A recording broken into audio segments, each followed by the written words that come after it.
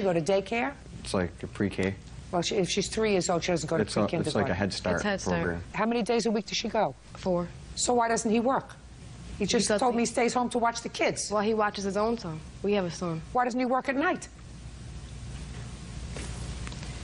It's my family time, ma'am. You can have family time as long as you're employed. It's hard when she goes to school all day and I would work all night. That would be hard to have family time. Mr. Taylor, that's a joke, sir. You should have thought of that before you made a baby. Sure. Having your family time. Sure. What people do when they have babies is they get a job and they support them. I don't support them. He doesn't support them. The state doesn't support them. And I'm absolutely positive if I looked in your bank account, I find out that somebody else was supporting your child other than the grandmother. Would that be a fair statement, sir? No, ma'am. No? Guarantee it. Head Start is a program that we pay for, not you, because you don't work. Okay, so you called her and told you you were coming over. So far, is that correct? Yes. How long did it take you to get there? I told her, give me about 20 minutes, I'll call you when I'm on my way. So I called after the 20 minutes. He answered the phone the second time, and he said, no, she's not here. Don't F, you know, the F word, call here again. So, you know, it's not the first time that he did something like that. So what I did is I drove around the block, seen that her car was there, pulled up in the driveway and beeped the horn. And she came outside. She went to my car passenger back door, grabbed my daughter. And he came out the door and just came to my window and just started doing a number on my vehicle. What kind of a number was he doing on your vehicle? At first, he, he punched the window, and then um, he just started kicking the door, trying to get me to come out my vehicle to fight him. No, that's not true. That's a lie. What did you go outside for, Mr. Taylor? Because he called me, threatening me that he wanted to fight with me. So what happened was he came to the house. I came outside. I noticed he had Why hammers. did you go? Just a second. What did you go outside for? Because he came to my house. He had just called me Just a second. What did you go outside for? because he showed up at my house. call the police. If somebody called my house and said, I'm coming over to your house to beat you up, you call the police and you say, Some nut who used to go with my fiance is coming to the house with a three year old child and he wants to beat me up.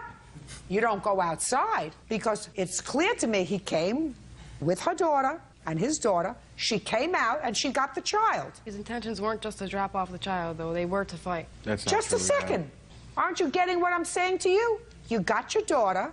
He goes into your house. He closes the door, goes over to the phone, and he calls the police. And he says, Some nut is in my driveway and he wants to fight with me. He doesn't go outside to the car. You get it. Yes. I mean, we're not talking about some prehistoric theory here. We're talking about how civilized human beings behave, not people who have too much time on their hands. Can I see pictures of the car, please? Yeah, I have, I have pictures and I also have witnesses and estimates. Who are the witnesses? Are the witnesses relatives, friends? They're neighbors across the street from them. I'd like to hear them, please. Tell me your name. Antoinette Degner? Degner. And you, sir? I'm Don Degner. You live across the street from them? Yes. Yes. My sympathies. You want to tell me what you observed on September 14th? We were in our house and we had the door open. It was a nice day.